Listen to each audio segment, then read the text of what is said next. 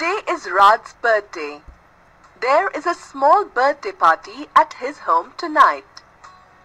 Raj's mother has prepared a list of guests. She has written each guest's name and their phone number on a piece of paper. Raj too has listed his friends' names whom he would like to invite for the party.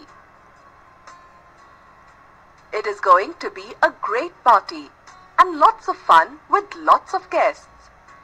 But isn't it difficult to store the list written on papers for a long time?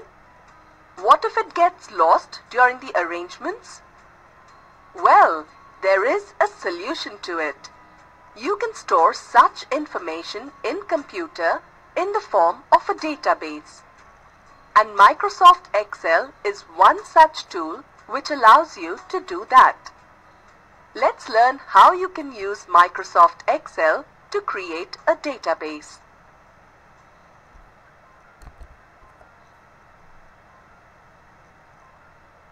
So, what is a database?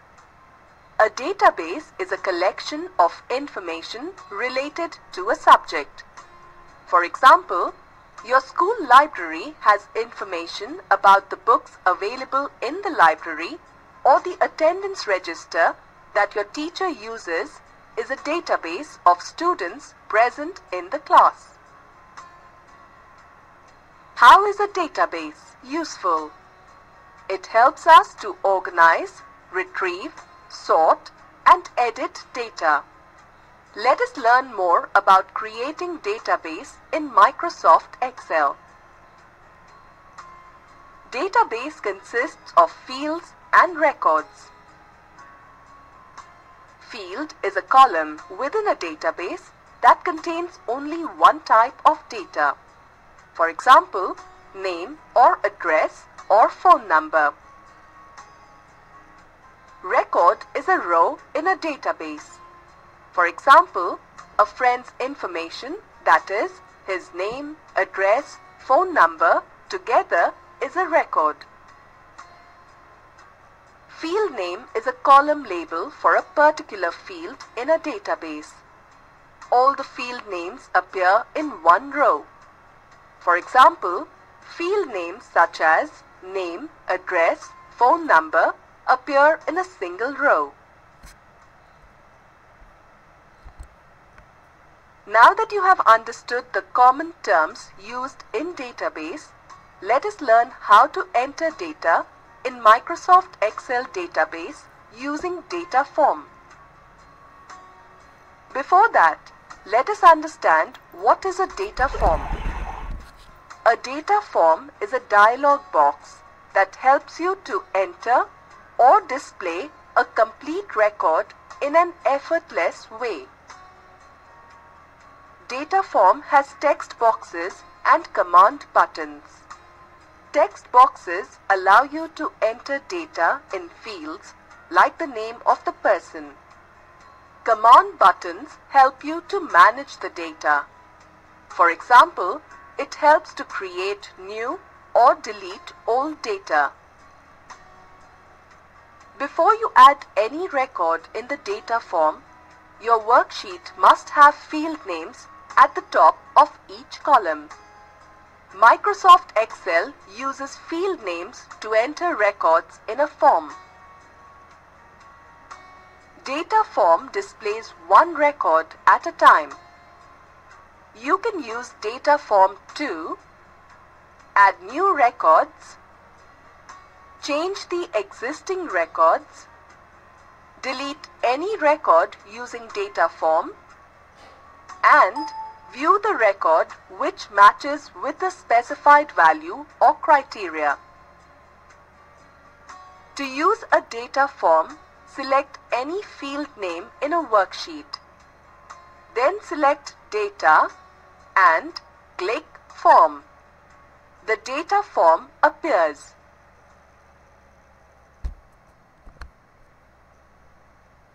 Let us now learn to add new record in a data form. To add new record, first click any cell. Let us click cell A2. select Data and click Form. The worksheet dialog box appears. Here, we have used phone book as the sheet name. It contains the record of the first person in your database. Next, click New button. Type the information for the new record in relevant text boxes such as name, address and phone number. Click Close button to close the data form. The record gets added in the database. As mentioned earlier, you can use data form to search the records with specific values or criteria. For example, if you know the name of the person whose information you require, you can specify it in the data form and find their details. Let us understand the process of searching the records through an example.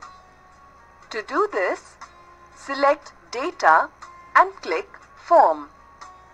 Click Criteria button.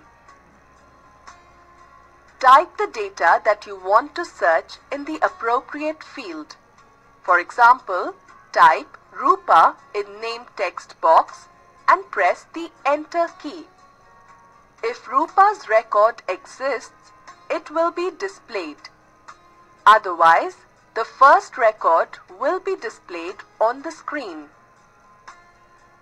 To navigate to the previous or next record, you can click Find Previous and Find Next button respectively. If you have a record that is no longer valid, such as details of a student who got transferred to another city, you can use the Delete button to delete that particular record with the help of the data form. To do this, click Data and select Form. Navigate or move to the desired record by clicking on Find Next button or Find Previous button. And then click the Delete button. A message box for confirmation before deleting appears. Click OK to confirm. The desired record will be deleted.